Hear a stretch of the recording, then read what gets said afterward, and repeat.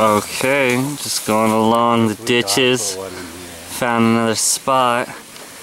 And I don't see fish, but what I do see is crawdads.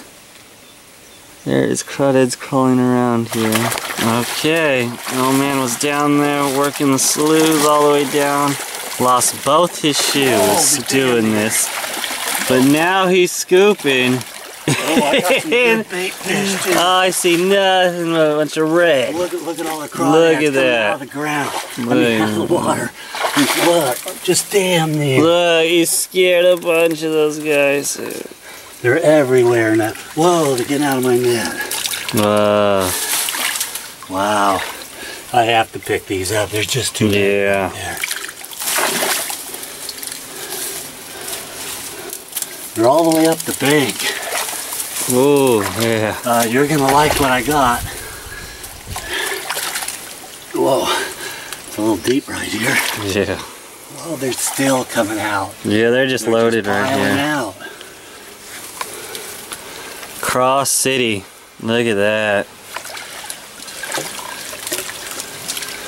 Get that out of the way. Okay, I'm gonna do a quick tip right here.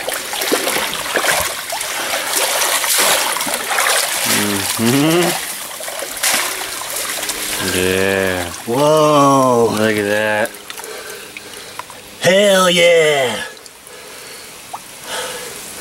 Cali crawdadding. Mm-hmm. This is how we do it. It's a little bit of work, but it's worth it. Yeah.